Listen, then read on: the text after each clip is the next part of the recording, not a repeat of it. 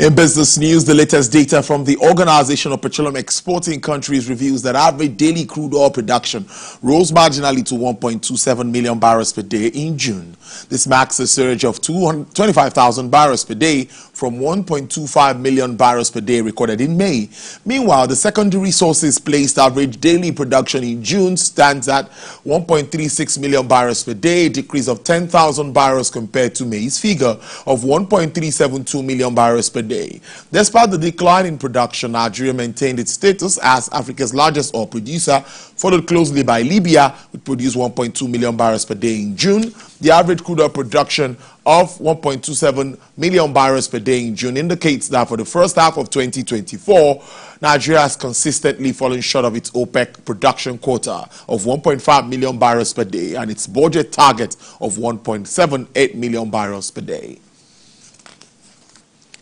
The Executive Secretary and Chief Executive Officer of the Financial Reporting Council of Nigeria, Dr. Rabiu Olowo, says the adoption of roadmap for sustainability financial reporting standards by Nigeria has set an exemplary standard for other African countries to follow, and it's, uh, it is ready to assist them in this regard. The FRC boss said this in his opening remarks at a practical workshop on the implementation of the ISSB's IFRS and IFRS 2 by financial institutions uh, in Abuja.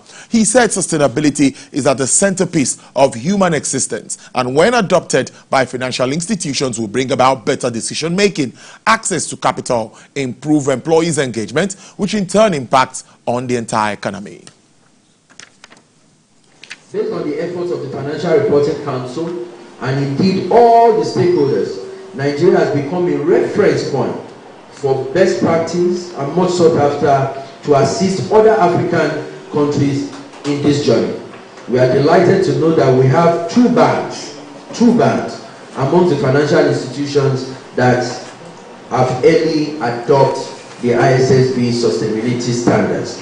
We therefore look forward to having more of our financial institutions join this train this year and not to wait till the mandatory year. When you report accurately, it will expose your corrupt practices. And if you don't report accurately, when you hide information, when you either in terms of profit, in terms of inflating expenses, in terms of omitting critical um, economic activities, that stems um, corruption. But when you have a regulatory agency like FRC, like Office of the Auditor General for the Federation, and all of them work together, um, the financial reports, when properly examined, will throw out some corrupt practices. In order to ensure that the right things are done, that's where reporting comes in. So that the regulators will be sure that the right things are being done by the corporates, and then it could also serve as an opportunity to do peer review. If you are doing it right, if I'm not doing it right, we can all come together to gathering like this and explain, encourage ourselves so that tomorrow this one will not go uh, overboard and then we would have nowhere to live. To strengthen Nigeria's financial sector, Central Bank of Nigeria requires banks to increase their minimum paid-in common equities capital to a specified amount. Analyst reactions have been trailing this initiative. Some said this will help banks increase loans and advances. Managing Editor Chief Economist at ProShare, Mr. Teslim Shitta-Bey, earlier today on our Business Nigeria program, shared his views on the implications of this directive by the Apex Bank. The financial system is quite stable. However, it is important to note that um, researchers at ProShare believe that it is necessary for the CBN to engage in some amount of interventions where you have some smaller, soft institutions that need um, support. And I'll, I'll bring that to the point of what you said, Heritage Bank. Earlier you referred to Heritage Bank. Yes, so we don't want another Heritage Bank on our plate. So the smaller banks, some of which the CBN has taken under custodial guidance, these banks need to find a way of increasing their equity capital. It is either that they, on their own, enter into combinations that will enable them scale up, quickly scale up within a period of two years, quickly scale up their equity, or the best bet will be hopefully getting an arrangement where banks come together but these banks are not strange bedfellows. Because the fear is that you could merge banks, but they are strange bedfellows, different cultures, different personalities, and you create a whole new monster. Yeah, yeah. So you want to avoid creating a whole new monster. So preferably, we'd want to see a situation where these banks, currently under custodial guidance of the CBN, come together, agree, develop a plan, and then scale up. The government has renewed commitments to using investments in green projects to enhance the development and health of the people. At the launch of the NGX Impact Board in Lagos, stakeholders committed to cleaner uh, environment. Effiong Ekop reports. The Nigerian government, through its Ministry of Environment, in association with stakeholders in the capital market, commits to investing in green projects for growth and development.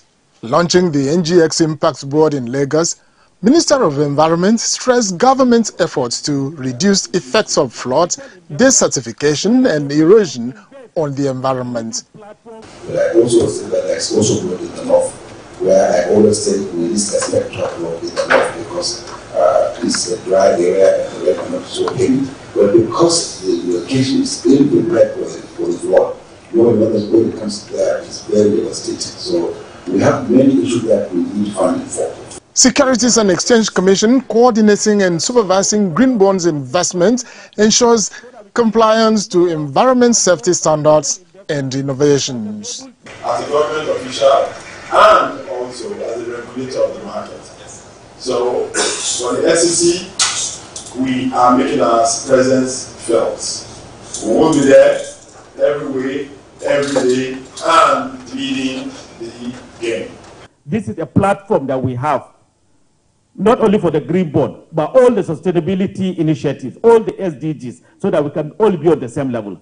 So the financing that they require, and like he said, any other ministry, any other state government, we are now launching that platform, that portal on the NGX. In 2019, the Nigerian government had introduced the Pioneer Green Bond investments into the stock markets. The NGX in collaboration with the Federal Ministry of Environment, uh, is working together with issuers to see how they can raise capital in the form of sovereign uh, green bonds uh, to finance some of those initiatives that the Federal Ministry of Environment is trying to pursue, in line with, I think, the current, current government's agenda of sustainability.